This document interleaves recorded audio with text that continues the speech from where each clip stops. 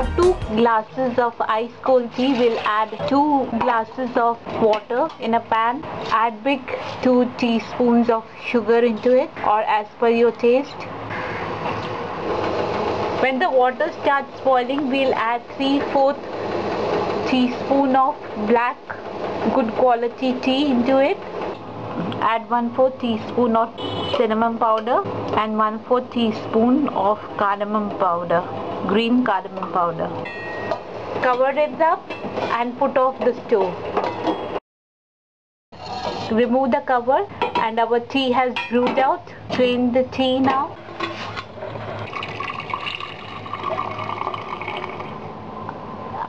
The tea has come to the room temperature. Now we will start preparing the iced tea add 5 to 6 pieces of ice cubes. Then we will add orange crush. You can add any other fruit crush into it. Add lemon juice about 2 teaspoons. Now pour the tea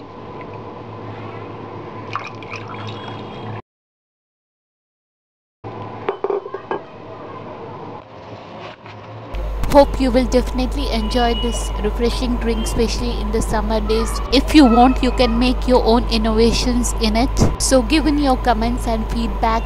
And don't forget to subscribe, share, add to your favorite, or if you want, you can hit the like button below. Bye for now, and see you in another great tutorial of recipes you like. Thanks for watching.